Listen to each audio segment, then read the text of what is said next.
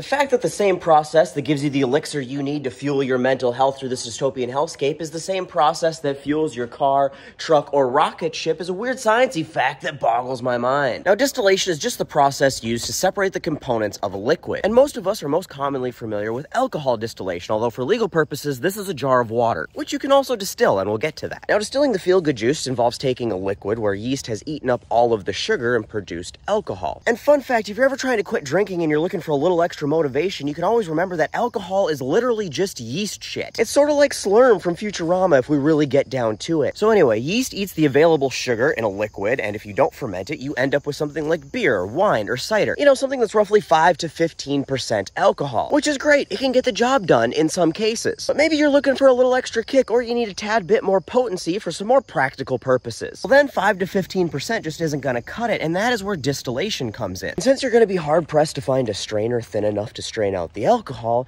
you need to boil it. And since the boiling point of alcohol is 173 degrees and the boiling point of water is 212 degrees, alcohol boils or turns to a vapor or a gas before the water does. And if you catch that vapor and run it through some copper tubes like you've seen in a Dukes of Hazzard movie, bam, you get closer to pure alcohol. And you can repeat that process over and over again until you do get pure alcohol. Then you can use that alcohol to make yourself a stiff drink, duh, or you can use it to sanitize surfaces like with rubbing alcohol, or you can even run your car on it. Alcohol is just ethanol. The E85 you can get at a gas station is 85% alcohol or ethanol and 15% gasoline. It can also be used as an antifreeze, it can be mixed in with a gel to make hand sanitizer. You can even use it as a fuel to keep food warm in those little burner deals underneath a buffet. But the benefits of distillation doesn't stop with the magic solutions yeast shits out for us. It can also make the elixir of life safe to drink. You've heard of distilled water and it's the same process. The only difference is that instead of trying to separate two liquids, you are just trying to get pure water and leave behind harmful remnants. So if water has something in it like lead, arsenic, or salt, like ocean water, for example,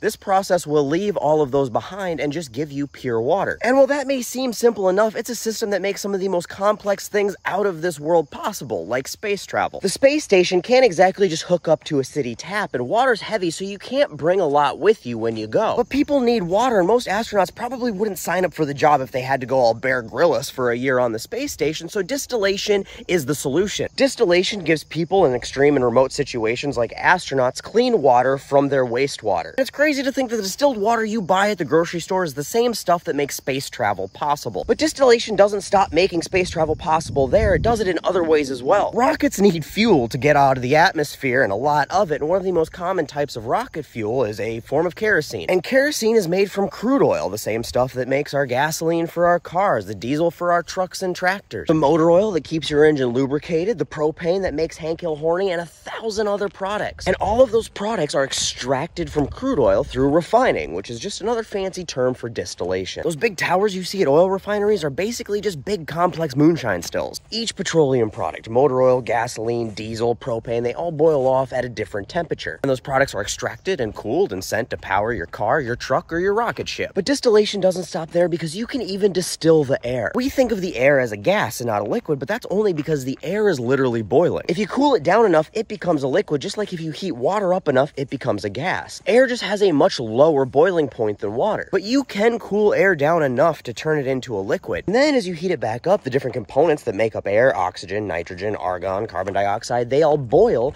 at different temperatures. And then you can pull them out and use them for whatever purposes you need. But tying using freezing to distill something back to something we all enjoy, which is a good drink, you can distill something without boiling it. There's a process called freeze distillation. It's how Applejack is made. Because just like things boil at different temperatures, they also freeze at different temperatures. And alcohol and sugar have a lot lower freezing temperatures than water. So if you take something like an alcoholic apple cider and you freeze it, the water will start to freeze while the alcohol and the dissolved sugar will not. Then you just strain the remaining liquid from the solid water. and You have yourself a sweet beverage with a bit more punch and there was no boiling required. And the fact that the discharge you derive from distillation can provide drinks for you and what you drive in droves, well, that is pretty mind boggling.